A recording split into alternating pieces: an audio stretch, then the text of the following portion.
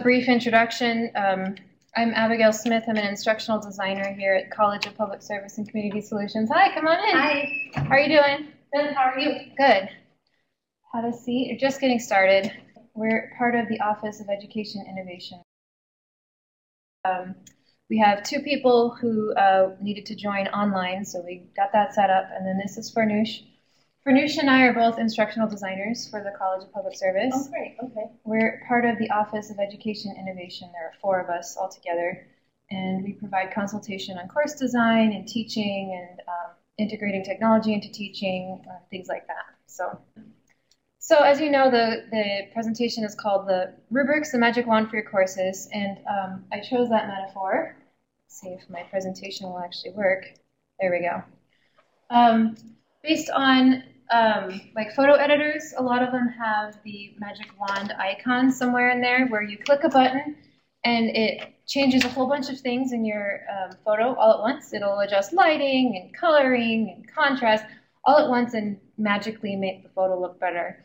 And um, for some reason, this is the metaphor that came to mind about rubrics because when you have a rubric in your course, a grading rubric in your course, um, a lot of things sort of magically improve, um, such as you save time grading, um, you reduce the number of questions that students bring to you about your assignments, you increase the objectivity uh, of your grading. Um, it's not quite so subjective, and if you have like if you have TAs or multiple graders in the course, there's more consistency from grader to grader. Um, improve the student outcomes, so what they submit for the assignment um, ends up being of a better quality.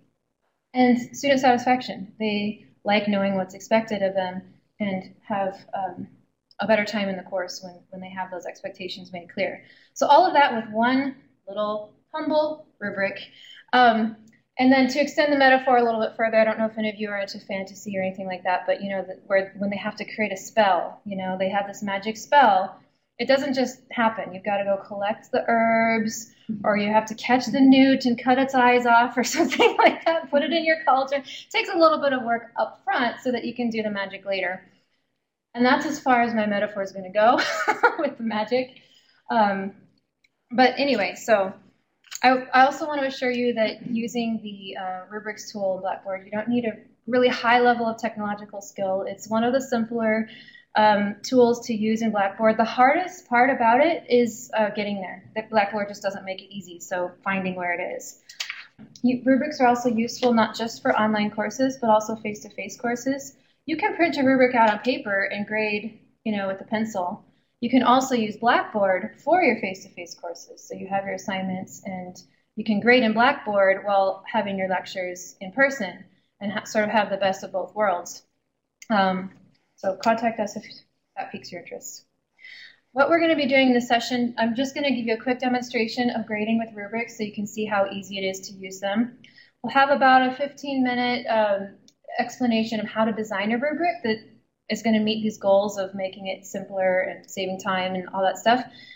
Then I'll walk you through entering a rubric into Blackboard and then how to grade using the rubrics. And so that numbers three and four will be the hands-on part of it where we'll actually get into your course, enter the rubric, and do it together. It's the best way to learn is by doing, right? So I just want to make sure that everybody can access a Blackboard course. I sent an email out with um, instructions if you want to join a sandbox if you don't have your own Blackboard course. But if, um, if anybody doesn't have access to a Blackboard course, let me know. I'm going to check the chat for the online part of it. So speak now. We'll, we'll, have time later as well. If you're if you're unable to get into Blackboard and use it, um, we'll help you solve that as well. I also sent out an email with a sample rubric for a project that we can use for entering into Blackboard, like copying and pasting from. So if you want to get your email open now and, and get that document ready, that might be useful later. You don't have to use that. We can, you know, you could just type in gibberish into the rubric tool as well. Uh, but I thought I'd provide that. So. Okay, let me move to um, the demonstration of grading with the rubric. Um, this is a sample assignment. I hope everyone can see it. This is I, I just entered a dummy assignment into uh, Blackboard, and this is what the student submitted. And this um, grading page, if you've ever worked in Blackboard, should be pretty familiar. I attached a rubric to it. Now this is what I mean with the hardest part is finding it because Blackboard doesn't make it easy. There's this little tiny down arrow here you have to click on and then it brings you to the rubric. And you have two options. This mouse. You can either click this icon to open up the rubric in table format so that you mm-hmm. see um, you see it like in a grid. And so here are our criteria. We're grading on uh, formatting, mechanics, timing, organization, whether they use quality sources, um, if they included all the required topics. Um, you can also you see it in list format by clicking on the title of the rubric here, and it expands it. And these are our criteria. And then if you want to show the description, you click that, and show feedback allows you to type in specific options. So I'm just going to, I actually prefer using the table format myself. It's up to you. Um, I'm just going to quickly give the student a grade. And if you write into the feedback, yes, the uh-huh. student will see that and it will save. Right, yep. Instead of on the other option, you have to click to save it. You have to click give feedback. When you're done with this um, layout, there's a submit option and it saves it into there. And, and the feedback will, okay, will be seen. Thank you. I had a question here. Sure. Um, so sometimes um, they don't get full points, but I don't want to take off as many points as it says. Is it okay to do manually, you know, change the number of points from zero to 100? So say I put it in and they only get an 80, uh-huh. but I feel like they should get an 85. Is that okay to manually do there? Yep. So when you when you click on these boxes here in, in Blackboard, it automatically tallies mm-hmm. up the points. And here is your box for manually overriding it. Um, okay. Just you just want to be careful Thank with you. that because the whole point of grading with a rubric is to be um, objective and consistent.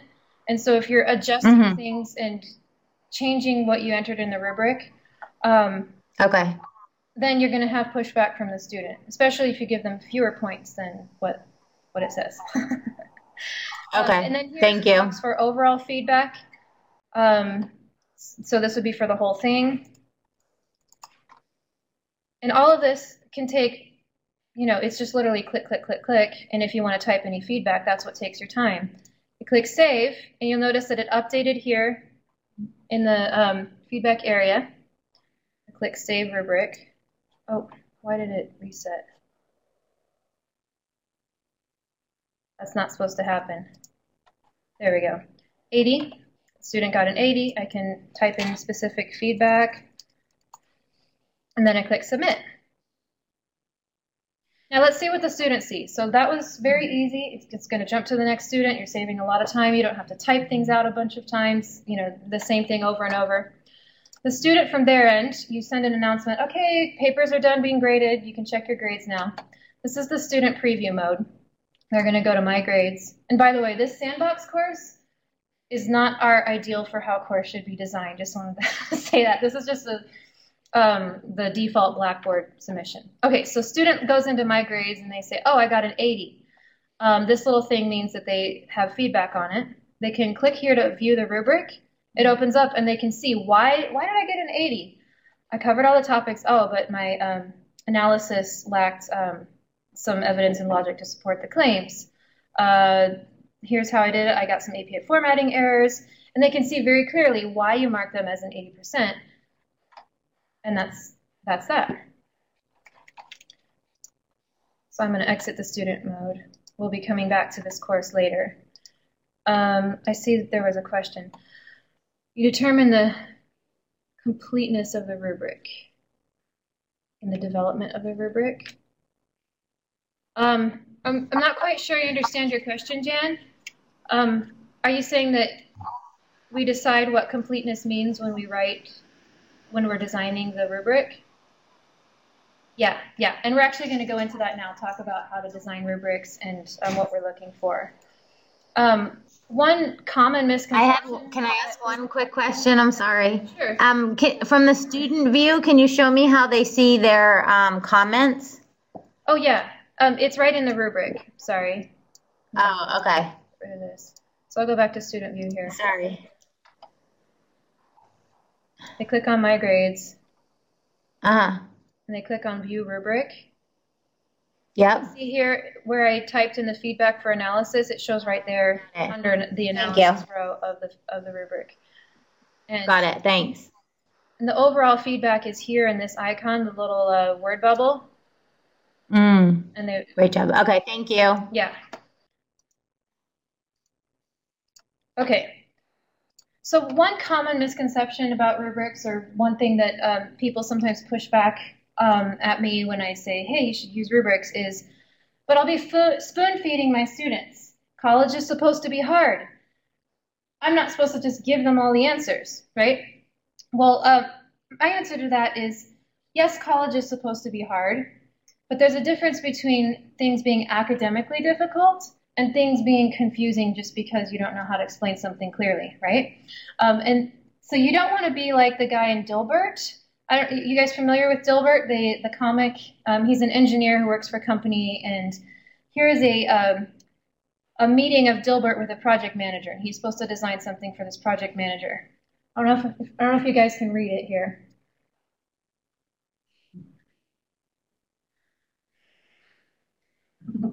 You don't want to be that guy who's like, it's all in my head and you're supposed to read my mind, right?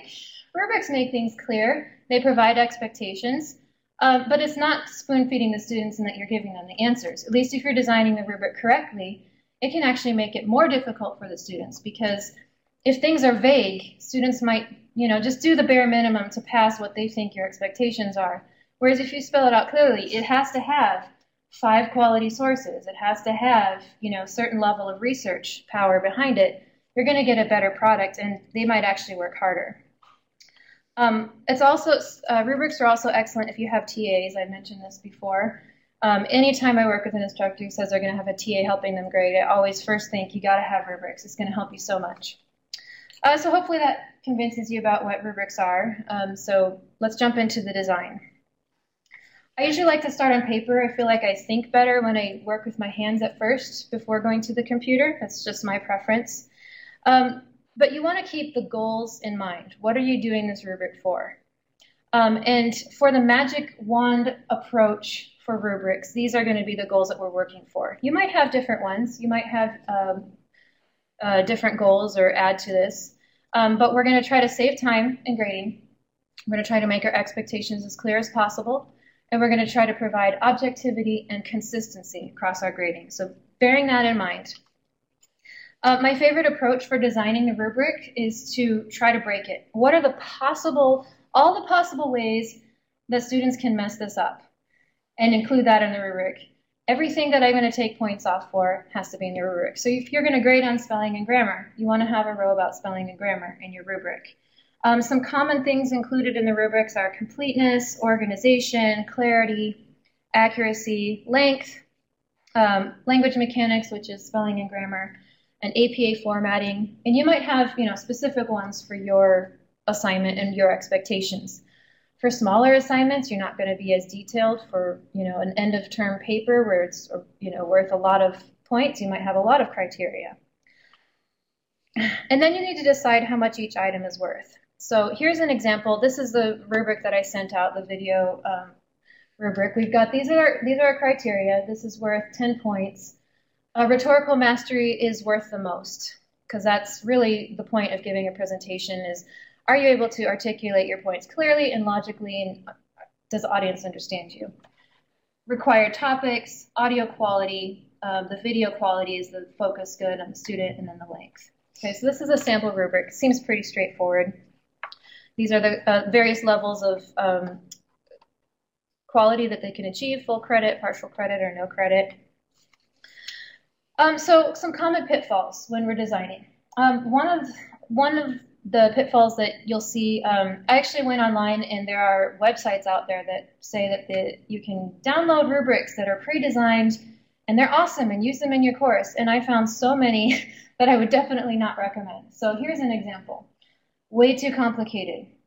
Um, we have the elements here at the side, that's fine. Uh, the mechanics, um, analysis and argument, connection of content to other ideas. This is great. But look, we've got seven different levels of quality here to differentiate between those steps.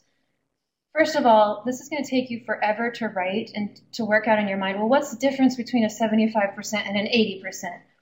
Second of all, the students are not going to read this. They're going to go to the very end, the excellent column, and they're going to kind of shoot for that. And then all your time you spent in the middle is basically wasted. Um, it's going to be cumbersome to use. It's going to be annoying. I don't recommend using rubrics that are way too complicated. Generally, three or four columns is enough. Um, another um, style of rubric that I see often that I think is can be a pitfall depending on what you're going for is using the rubric as a checklist where you list what you want and then it's just yes or no. And you can do it this way. There's not necessarily anything wrong with that, but I think that rubrics work best when they provide qualitative feedback, and there are different tiers of quality that you can give them um, so that when they get their grade, they know why you marked yes or no on that item.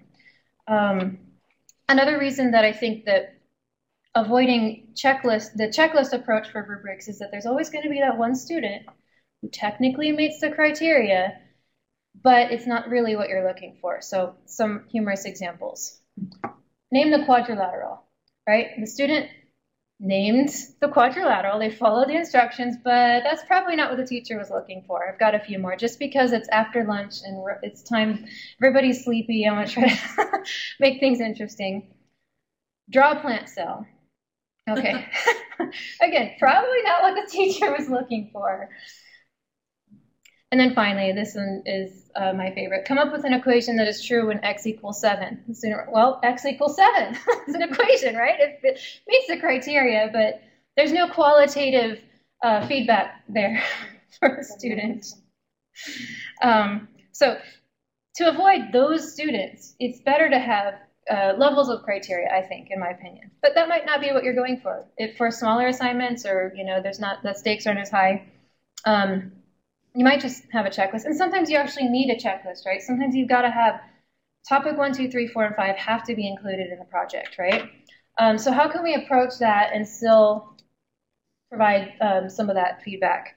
Well, the first thing that people usually do um, when trying to kind of mitigate this is something like this, where they have these are all the things the, that I'm grading on topic one, topic two, topic three, and then they give, you know, these are our levels of quality. But you'll notice that each of, whoops, uh, go back. Each of these rows is exactly the same. It's just applying to topic one, topic two, and topic three. That's one possible way to do it, but I actually prefer a different approach. And that would be in the instructions when you're giving the assignment. So this isn't the grading rubric, this is just the instructions of how to, of what you're looking for when you um, give the assignment. Here's your description. You list your topic one, two, three, four, and five. And then in the grading rubric, have a completeness row, or you can call it, you know, whatever you want, thoroughness or whatever. And then you move all five topics required are covered in the paper, and that's how they get full points. Fewer than that, they lose points. And then you can provide other um, aspects of the assignment, like were, were the arguments good? Did they provide quality sources or whatever you're grading on? I think that works a little bit better. I'm going to quick check for questions. Um, another common pitfall um, in designing grading rubrics is um, mixing more than one item into a single row. So here is a sample. Again, I found this on these supposedly um, quality rubrics that you can download from this website. Responses use correct grammar and spelling, and information is in your own words. And what's wrong with this? What's going to happen? You're going to get student who, yes, they write in their own words, but the spelling and grammar is terrible. How are you going to grade them using this rubric? You can't because they're mixed together into one cell. So you'd have to click this one or the next one, and then you'd have to type in feedback. Yes, great, but spelling, grammar errors, blah, blah, blah, something like that. Um, it's, just not going to give you that level of precision that you need, and it's going to um, not save you time, which is one of our goals. Here's another one I found. This is a doozy. So for con contribution, they've got this big row here. And to achieve the sophisticated uh, level of quality, they have to do all this. Requirements, objectives are identified. Deliverable offered new information. Application is based on stated criteria. In my mind, this is at least three rows that you're that you're grading on. Because what's going to happen if the student they meet all the objectives, um, but they didn't offer a new approach and they're deliverable? You, which one are you going to choose, competent or sophisticated? You know, how are you going to provide that feedback to the student that actually matches what they submitted? So this can be challenging, and honestly, sometimes you have to sort of mash things together. If it's a, if it's an assignment that's only worth 10 points, you can't have 20 criteria in there and have it really be a meaningful rubric. Sometimes you have to sort of be creative in how you put things together, but try to avoid it so that you can, you know, again, save time, be clear, and avoid that kind of pushback. Another one, this is um, sort of preference, um, but try to avoid judgmental labels. Um, the default rubric when you first start in Blackboard, they have one of the uh, quality levels is um, novice. I just, that strikes me as weird. Like, it's kind of like damaging to your self-esteem, you know, like, oh, I'm a novice and whatever. I mean, of course they're novices. They're students. They're learning, right? Um, if that's, you know, it's not the end of the world if you're going to use that kind of language, but I tend to prefer language that's a little bit more objective, like met criteria or full credit. My favorite is full credit, partial credit, and no credit because there's no like, yeah, damaging like good or poor. Proficient. proficient, yeah. it's again, it's not the end of the world if you use those kinds of things, but we don't want to be the squirrel of judgment for the student. We want to be the teacher who's helping them learn, right? Um, and finally, the most common problem that I see is um, an, um, a cell or a criteria that's just not measurable. So let's look at this one. This is a, another rubric I found. Visual, so it's a presentation. They have to provide a visual with their presentation. The visual was eye-catching and interesting. It enhanced the presentation. And what's the problem here? How do you measure interesting? How do you measure eye-catching? Like, what does that mean? It's going to mean different things to different people. If you have two TAs helping you grade, and one of them likes lots of decorations in their visuals, and the other one's much more minimalist, they're going to provide different um, scoring on this item based on their preference of what they think is interesting. So brainstorm, how could we improve this rubric so that we're measuring a visual that the student has in their presentation? What is, what's some other language we can use? I'm going to open the any ideas? How could we how could we enter a visual? How can we grade a visual using something that's more measurable? Maybe the number of visuals yeah, the number of visuals is um, um, maybe the size of it if you have a criteria of Yeah. what size you want it to be.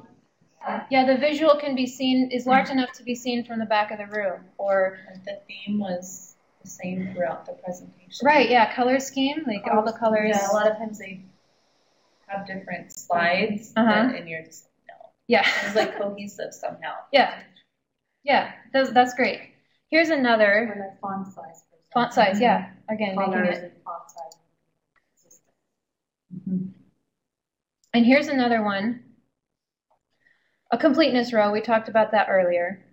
Um, but we have most required topics are covered, several, few, fewer than three. All right, so what's the problem here?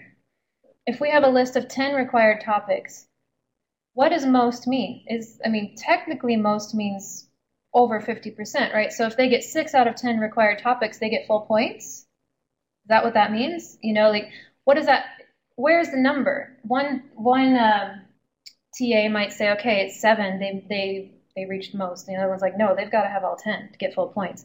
You got to be measurable there. So provide numbers. All ten required topics were covered in the paper. Eight to nine required topics were covered in the paper. Six to seven, fewer than six, something like that. However, however that works up. So, in this part, it, it takes the most effort and thought because have to really focus. And again, you have to think, how can the student break this? Or how can my TA who's grading break this? Like, what are, what are the possible ways that this could backfire on me, you know? So um, let's go to Blackboard now. And um, practice entering it into Blackboard. So there are two ways that you can get rubrics into Blackboard. Is everyone in, everyone logged into Blackboard? You're able to follow along okay? All right, so first, make sure that edit mode is on. That green light at the top is lit. And then at the bottom left here in the course management area, there's this gray area, it's the course management area. I'll click on course tools. And then scroll all the way down. This mouse is really weird. I'm having a hard time using it. And click rubrics. This is our rubric creation, or this is where all the rubrics in the course live, so to speak. Got several here. and at the top there's a button that says create rubric. So you give it a title, whatever you want to name it for the assignment, and scroll down, and this is the default that they give you. They give you three rows, three columns. Um, they, you know, standard is formatting, organization, grammar, and then novice, competent, proficient. Um, and you've heard my opinions on those titles. Um, we can move the columns around. I actually like to have the whatever's worth full credit um, first in the row because we, we read left to right, and I like to have it, you know, the, the ideal, what they're going for, as the first thing that they read. Where did you do that? I missed it. This button right here where it says levels of achievement left and right, Okay. You click on that. And like I said, Blackboard doesn't make things very um, user friendly. and then click submit and then they've got them moved around here.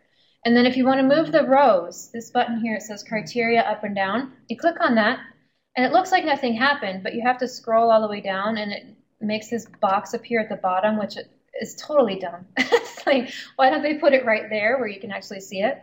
But yeah, this is the um, this is where you can reorder them. So you select that and then click down and or up or whatever and submit. And we have rubric types. We can do no points, and that would be if you just want to provide the qualitative feedback, but you're not attaching numerical value to it. You can do points, point range, or percent, or percent range. And this is completely a matter of preference and um, what's going to work best for your course. I like points um, because I feel like it's a little easier to grasp for when students are looking at what how many points is this worth. Um, it might be the way you set up your course is percentage based, and that's totally fine too. Um, the, the thing that happens sometimes with percentages is, um, like let's say you have an assignment that's worth 15 points, and you have a percentage based rubric, and they get 30% off or 25% off, you're going to end up with a score that's a decimal, and that's just a little awkward and weird to see that in your grading center. Not the end of the world. Um, I just tend to have points or a whole number, easier to get around with, and um, that kind of thing but it's whatever you want. I have a question. Yeah. With the point range, Mm-hmm. do you have to manually enter in the point range for Yeah. each rubric or for Mhm. each column in the rubric? Yeah, when you're grading, yeah, if you do a range, And that'll still pre-populate the total? Yeah, it will. Okay. And it will give them that feedback. So you click on the cell that says, you know, provided two quality sources, or so they'll see the, the qualitative feedback, but you have to manually type in the numbers. So you could do like between twenty-seven and thirty Yeah. points and the Mhm. next one 31 to, okay. Yeah. I think this will, the point range would be, and answers uh, Sarah's question. Yeah. She also had that question, like, if I don't want to give them, I don't want them to lose all the marks. I just want to give them Yeah. some, so Mhm. the point range would Yeah. kind of answer that question. hmm Yeah, there, it depends on the strategy that you're using for your um, for your grading. You're, you're gonna Can I ask a question? Because you have to manually type the number each time, but you're you're going to gain some flexibility. Or you can also do something like um, if you have a spelling and grammar row, you can just say you lose one point for every grammar mistake that you make up to 20 points, and so then the spelling grammar row is worth 20 points, and you can manually type that in. That's that's one possibility. And she Um, said she had a question. oh yeah, sorry. Is this the same place where we, if they're already in there, we edit them? Or do Yeah, you want to, so- or do we edit? Okay. So yeah, I was just going to get to that. If you want to edit what the rows are called or the columns are called, there's these down arrows next to the name. Click on the down arrow and click edit. And then, so I'm going to go to my Word document here. That This is the um, thing that I typed up.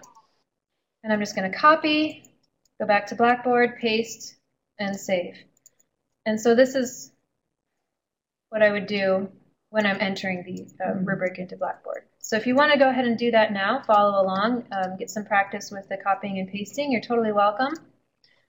Um, I have, oops, I have five rows in this rubric here. Blackboard provides me with the default of three rows, so I have to add. So I'm just going to click Add Row twice. Oh, this mouse. And then I could copy and paste into there. That makes sense? And then for the columns, it's the same thing. You click the down arrow, click Edit, full credit. I'm going to switch this to points. Partial credit.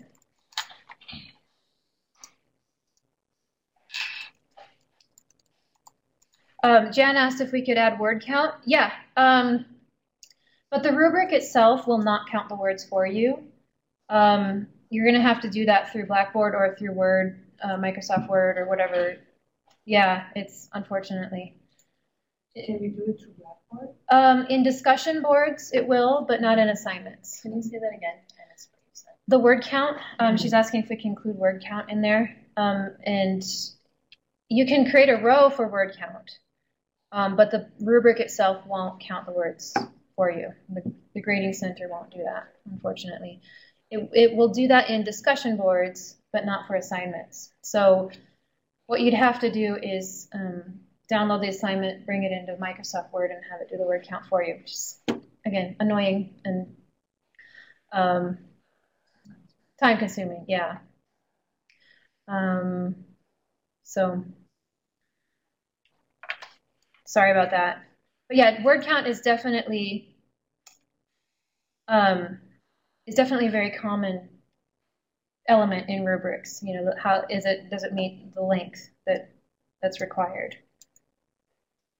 So I'm just going to enter one more row here. Is there a way to add a rubric just for like the TAs, but not have it available for the students? Um, yeah, well, you would attach it to the assignment and just make it not visible. Is that what you mean? Mm-hmm. So they would grade from that, but the students wouldn't be able to see it. Okay. Okay, so then we can enter the points here, or if it's percentages, you'd be entering percentages in these boxes.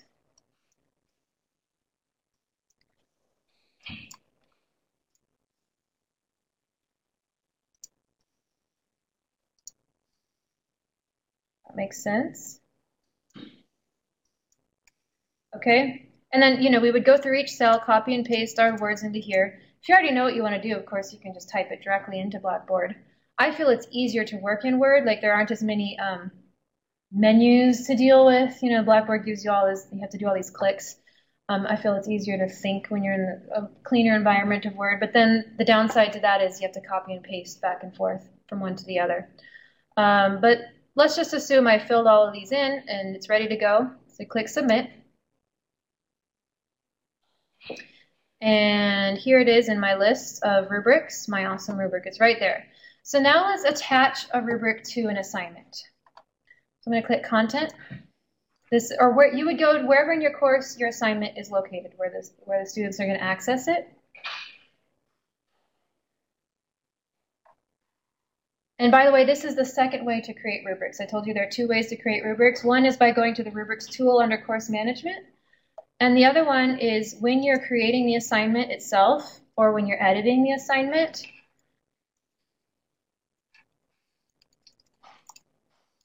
There is an option in the edit menu, which is scroll down under grading where it says grading, add rubric. And you can either create a new rubric or you can select from ones that you've already created. So if I click create new rubric, it brings up the rubric tool that we just saw. So there's a title, this is our default, all of these buttons that we saw before, it's exactly the same tool, and then you click submit. But I already created the rubric, so I'm just going to go to select rubric, and then choose it from the list. My awesome rubric, that's the one we just created.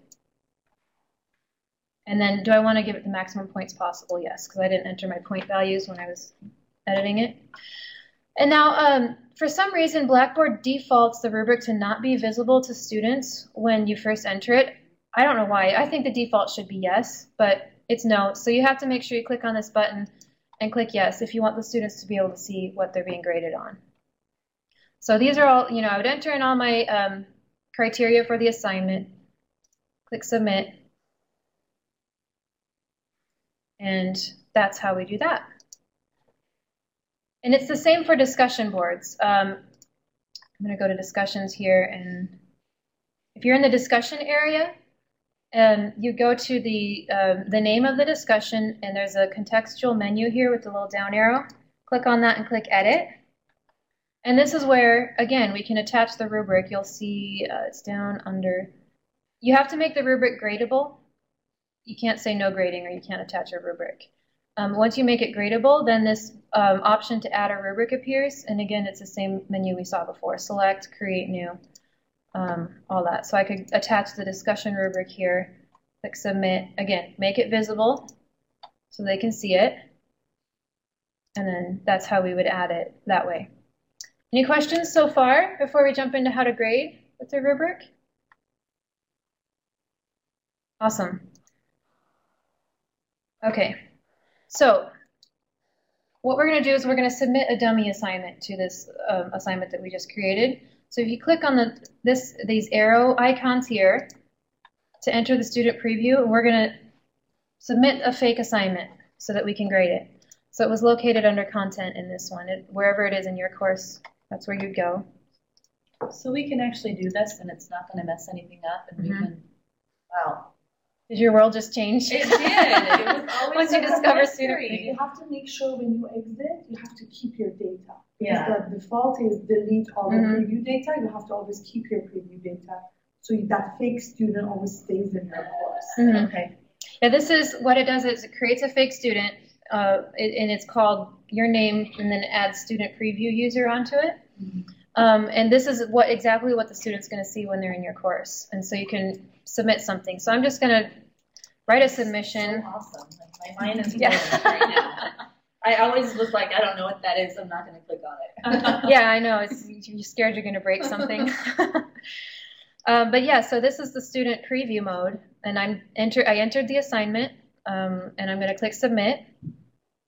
It shows me here. This is what I entered, and I'm going to now I'm going to exit student preview mode, and you have to be very careful here. Like Farnoosh said, when you exit, it gives you the option delete preview user. That would, if I kept that, that would delete the fake entry that I just entered. Um, but I'm to click keep, and then continue. Now we're back to instructor view. We know that because we have the edit mode option, we have our course management area here, and I'm going to go to Grade Center and Needs Grading, and there's my fake assignment that I just entered. So now you click the down arrow and grade all users, and now we, we're going to practice grading with the rubric. So again, this little tiny down arrow here is where it's hidden. It's not obvious. Click that down arrow, and we have two options. This is the list view, and you, when you're in the list view, you have to click Show Descriptions and Show Feedback if you want to see the entire rubric. Or you can click the Table View. The only problem is the table view opens in a new window, and you've got to resize it, and it's kind of annoying. But it, I feel the table view is more like conducive to how you actually design the rubric and it's more intuitive. Um, so again, Blackboard doesn't make things super user friendly, but you're still saving time, right? I mean, you're still not having to retype everything out over and over again or copy and paste from a master document of commentary that you usually provide to students, something like that.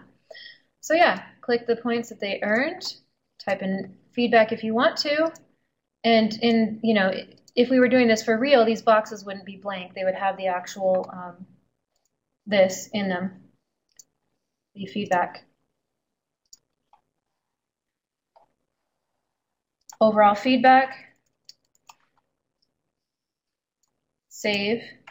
It updates here in the attempt, right there. Save rubric and submit. And it would be the same for grading discussion boards. You can even attach rubrics to quiz questions. If you enter an essay question into your quiz, there is an option to attach a rubric to the essay. Oh, yeah. That's so cool. Yeah. So um, that's it. Do you have any other questions on how to use it, or do you want me to go over anything else or redo something? Is there a way to work on a rubric Really helpful, so thank you. and save it and come back to it? Yeah. hmm Yeah. If you're in the, you mean in Blackboard? Yeah, because that was in the, in the, we went to course tools in Mhm. rubric and it just said submit it. But it's not actually attached to anything, so Right. I can go back in and, Once you create it, it's just in the rubrics area. It's not attached to anything yet. And we can actually edit them. Whether it's attached to a rubric or not, we can still edit it. So, like, I just attached the discussion board rubric to um, the discussion board. And then maybe I changed my mind about one of the things. I go here, and there's a down arrow next to the, it's called the contextual menu. There's a contextual menu for lots of things in Blackboard. Um, I would just click edit. Um, and here I can just go in and change anything if I decide that this is not actually what I wanted to use. And click submit, and that would update anywhere where that rubric is attached. It's going to update it throughout the throughout the course. Um, yeah, so this is I can edit the rubrics in this rubrics tool, delete them, create new ones. Um, you can copy, like I want to, let's say my um, paper one is really similar to journal one, like they're going to have similar criteria but just slightly different wording. I can copy it and then edit the second one and make it more specific for the journal instead, instead of having to start from scratch every time. It is possible to copy. And um, Jan asked if this is being recorded. Yes, it's being recorded, and cross your fingers if the recording actually turns out. I'll um, send that out um, as soon as I have it. I have handouts too, um, and I'll have to email it to the people who are online, but um, for those who are in the room, this is a recap of everything we talked about. You're my you're my guinea pig in testing. So on the front is um, everything that we talked about. This is to sort of jog your memory later on if you're coming back to it. Like, how did that happen, or what was I supposed to think about there? And then on the back is a sample discussion board rubric, just for inspiration. And um, the Office of Education Innovation does have uh, generic rubrics if you want to start from those. Um, some that are pre-vetted, hopefully not as many of the um, common pitfalls in them. Just contact us, let us know. We'll um, give them to you. You can edit, you can customize. We can help you get into Blackboard. Um, because there is a way to transfer a rubric from one course to another. So maybe I should walk through that since we have a few minutes. This is a little bit more advanced, but we have time, so I'm going to go ahead and say it anyway. So if you click export here, I, well, I, I make sure this checkbox is checked for the one I want to export. Export to local computer and submit. It's going to download a zip file onto my computer. And then I can go to a new course, just save file.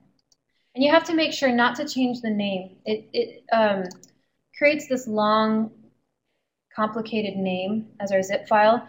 But if you change it, Blackboard can't import it into a new course. So it's kind of annoying, but just leave it alone. Don't open it. Don't let your computer's going to want to automatically open it. Don't let it do that. Just leave it alone. And then you go to a new um, new Blackboard course and go to the rubrics area under course management and then click import rubric. And then you'd find that zip file that you downloaded, which is probably here, right? Yep. And that's how you can transfer rubric from one, one course to another. And now I was actually in the same course, so it brought it in the same. Uh, now I have two of them because I re-imported it. Great. Any other questions? Awesome. Well, thanks for coming. I'm glad you guys are here. And um, contact us if you have any questions or you want to consult with uh, an instructional designer. We're happy to help. And tell your friends. We have another one coming up on March, I think it's 24th. It's the day of the all faculty staff meeting. Um, I haven't decided on what the topic will be yet, but hopefully it will be super interesting and super helpful and with just as many corny jokes in it as this one had. so thanks very much.